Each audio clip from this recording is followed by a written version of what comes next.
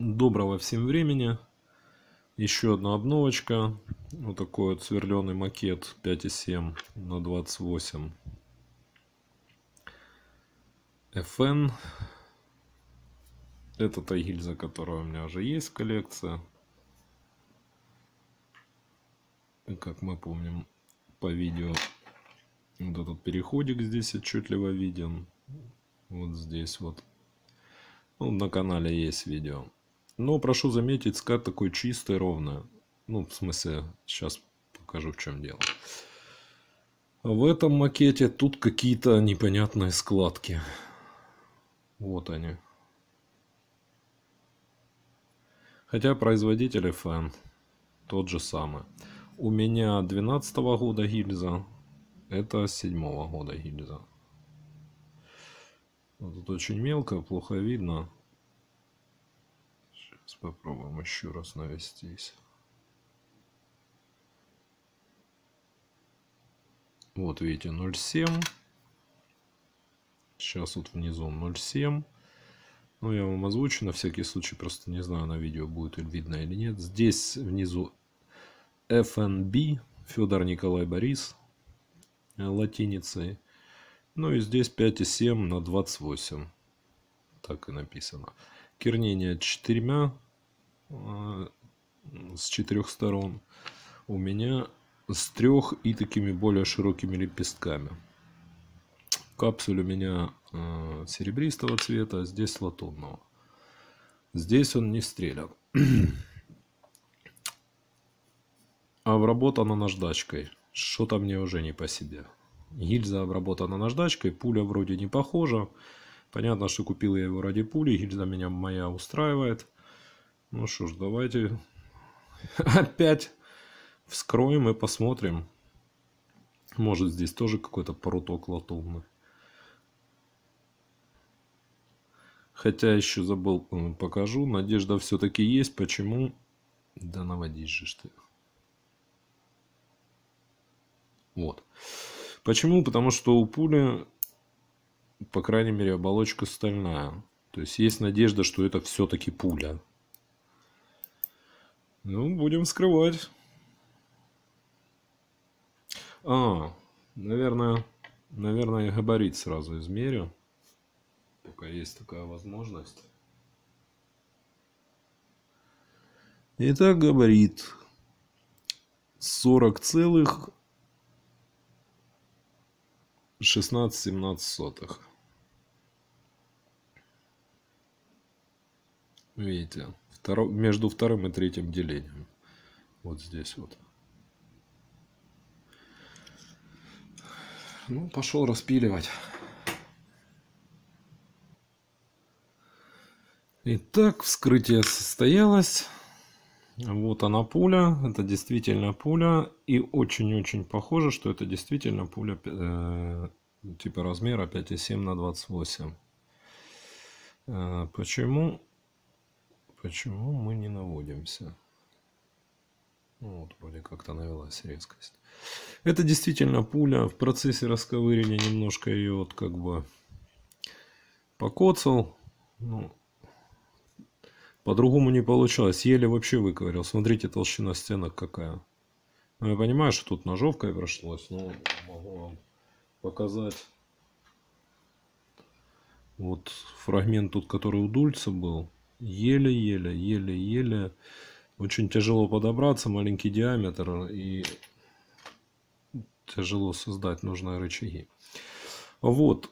И почему мне кажется, что все-таки это та пуля? Потому что сейчас покажу весы. Э, ну, сначала взвесил. Наверное, вот так как-то виднее. Ну, прошу прощения, если не сильно. Итак, ну, для нас главное значение 2 грамма.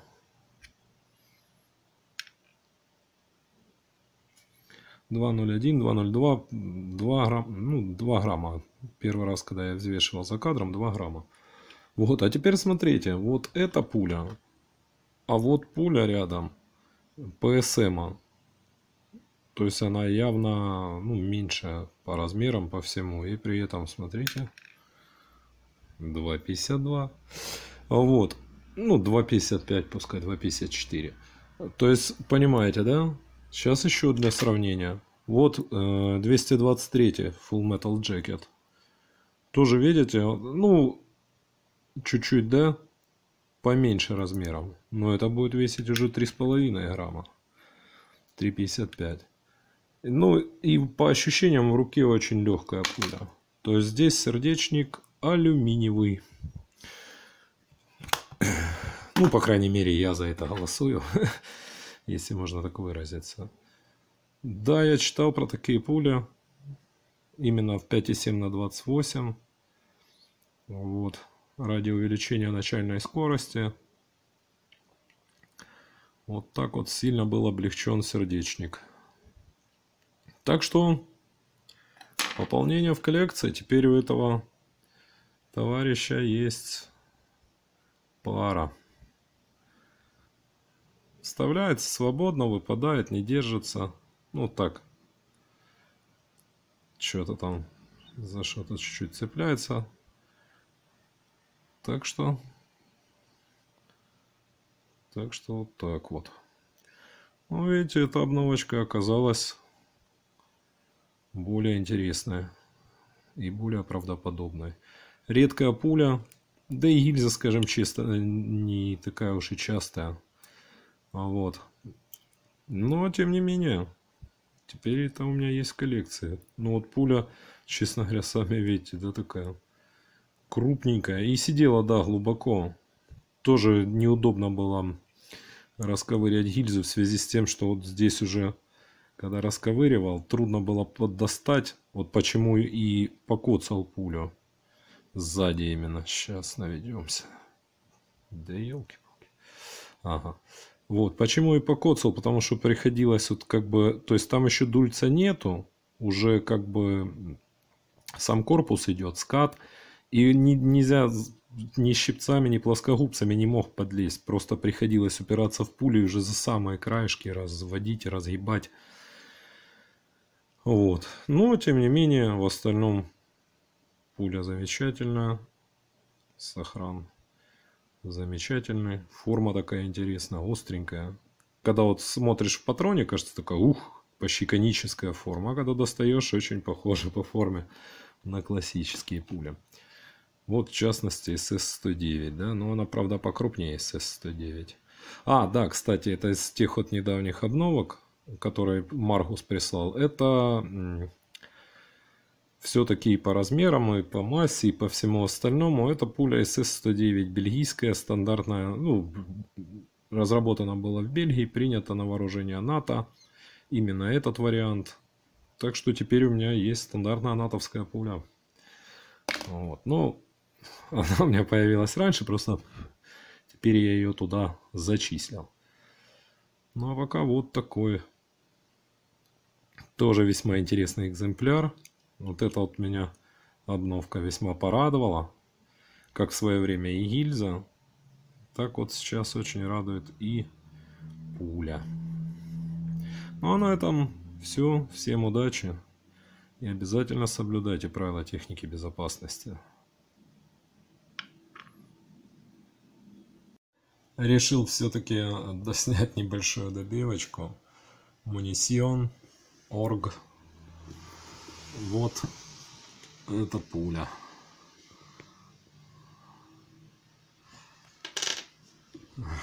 Вот такое ее внутреннее устройство. Пуля SS-90 тип 2.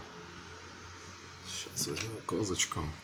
Ну, снимаю с рук. Извините, штатив тяжело к компьютеру что-то присобачивать. Вот, видите, стальной э, передняя часть сердечника. Э, Стальная же оболочка, не знаю, передаст камеру, подведу поближе, видно на спиле, что она, что она стальная. Ну, да. И алюминиевая задняя часть